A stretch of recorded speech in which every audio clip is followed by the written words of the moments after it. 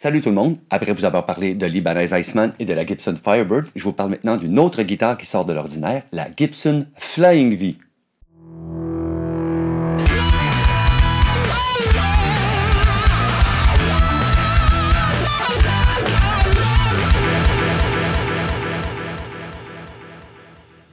Pour comprendre l'histoire et le développement de la Flying V, il faut se souvenir que dans les années 50, Gibson a la réputation d'être une compagnie euh, plutôt conservatrice qui fabrique des guitares de jazz surtout. Et même que lorsque Fender va sortir la première Telecaster au début des années 50, Gibson va décider d'emboîter le pas et de construire sa première guitare à caisse pleine, la Gibson Les Paul. Mais il faut voir en fait dans son design que la Les Paul n'est qu'une version à caisse pleine des guitares de jazz qui étaient déjà produites par la compagnie à l'époque.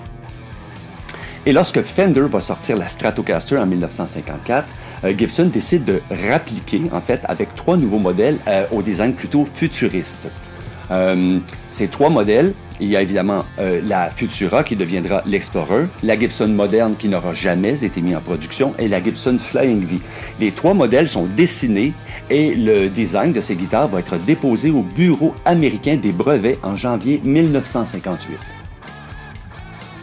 La forme de ces instruments, ça reflète la volonté de Gibson de délisser son image vieux jeu, en fait, et d'entrer de plein pied dans l'ère spatiale. C'est une époque qui est marquée par un engouement du public pour l'exploration spatiale, euh, euh, un engouement qui a un impact sur toutes les facettes de la culture américaine, que ce soit du design des automobiles ou encore des émissions de télévision.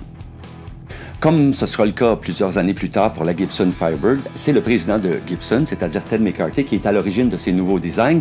Par contre, ce sera Seth Lover, l'inventeur du micro humbucker, qui sera à l'origine du nom qui sera donné à cette nouvelle guitare, soit la Flying V.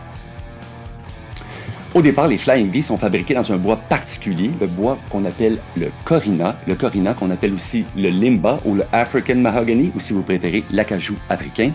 C'est un bois qui était déjà utilisé euh, dans la fabrication de guitares et aussi qui était populaire dans la fabrication de meubles. Pourquoi le Corina? Bien, il y a plusieurs raisons. D'abord, ça permettait d'obtenir un fini pâle, un fini qu'on appelait blonde, un fini qui était populaire à l'époque sans utiliser aucune teinture. Et aussi, on en avait beaucoup en stockage parce qu'il servait aussi à la production des guitares lap steel de marque Skylark. Ce qui est intéressant de noter aussi, c'est qu'on s'inquiétait euh, pour le guitariste qui désirait jouer assis avec euh, la Flying V, ce qui n'est euh, pas toujours évident. Alors, on avait décidé de coller une bande de caoutchouc sur le côté inférieur de la guitare pour empêcher que la Flying V glisse sur la cuisse du guitariste. Et en fait, il semble que c'était juste des lanières d'un tapis de caoutchouc qu'on avait découpé. Les premières Flying V vont sortir de l'usine Gibson en 1958, mais le public n'est pas au rendez-vous. La première année, on en fabrique 81 et l'année suivante seulement 17 avant de cesser définitivement la production, du moins pour un temps. Euh, mais aujourd'hui, la rareté euh, de ces premiers modèles a engendré une hausse incroyable de la valeur de ces premiers modèles, alors qu'ils se vendaient autour de 250 dollars l'année de, de, leur sortie. Aujourd'hui, les modèles originaux valent entre 200 000 et 250 000 dollars américains. Malgré qu'elle fut peu populaire auprès des acheteurs, il y a plusieurs guitaristes qui ont fait de leur, image de marque en utilisant la Gibson Flying V, entre autres Lonnie Mack, un guitariste de blues, Dave Davis des Kinks, qui avait payé la sienne 200 dollars dans un pawn shop, et le bluesman Albert King, euh, dont la première Flying V, encore une cette, cette Flying V 1958, est maintenant la propriété euh, du spécialiste des arts martiaux et de l'acteur Steven Seagal.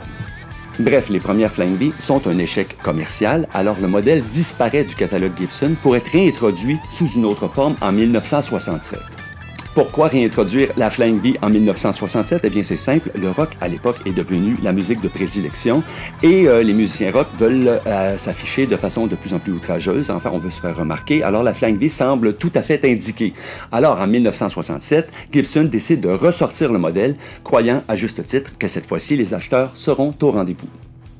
Les Flying V construites à partir de 1967 sont construites différemment de celles de 1958, c'est-à-dire que d'abord elles ne sont plus en Corina mais en acajou, et ensuite tout est monté sur une plaque de protection, si on appelle un pickguard, et euh, la face de la guitare est évidée pour faire place au contrôle, et le tout est déposé et vissé sur la face de la guitare, tout ça pour simplifier la construction et diminuer le coût de production. Cette version de la Flying V est beaucoup plus populaire et continue d'être fabriquée encore une fois de nos jours. Parmi les utilisateurs les plus connus de cette version de la Flying V, on va noter bien sûr Rudolf Schenker des Scorpions, son frère Michael Schenker du groupe UFO, Lenny Kravitz, Andy Powell du groupe Wishbone Ash. Jimi Hendrix a aussi joué sur ce type de Flying V et Paul Stanley de Kiss également. On me pose souvent des questions sur ma propre Flying V, alors pour votre information, c'est une Flying V qu'on appelle la 67 Reissue, si vous préférez la réissue du modèle de 1967. Elle a été fabriquée en 1989, mais je l'ai achetée en juillet 1990. Et croyez-le ou non, j'ai toujours la facture. Ça semble incroyable aujourd'hui, mais je l'ai payé avec taxes 639 dollars et 2 sous. Il faut dire maintenant que cette guitare a beaucoup joué. J'ai fait le tour du Québec à plusieurs reprises à l'époque et il fut un temps où c'était, avec ma Fender Stratocaster jaune, l'une de mes deux seules bonnes guitares. Et euh, tout ce qui reste original sur cette guitare, c'est la pièce de poids, c'est-à-dire le manche et le corps. La plaque de protection a été changée à plusieurs reprises. Celle-ci a été fabriquée chez Chandler, une compagnie américaine qui à l'époque fabriquait des Pickguard Custom de la couleur qu'on voulait.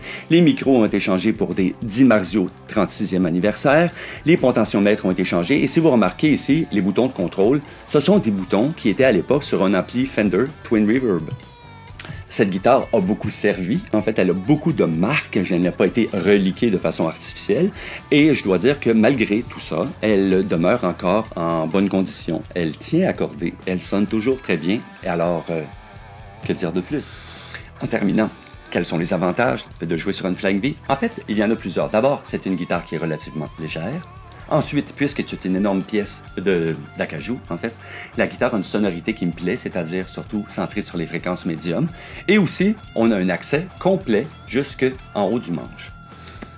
Pour ce qui est des désavantages, évidemment, euh, jouer assis avec une Flying V, ça demande une certaine adaptation. La seule façon d'y arriver, en fait, c'est d'enfourcher hein, la guitare sur euh, notre jambe droite. Euh, une pose qui peut sembler un peu sexy en fait, mais ça fait partie du jeu. Et pour terminer, si vous avez des questions, des commentaires ou des suggestions, n'hésitez pas à m'écrire, il me fera plaisir de vous répondre.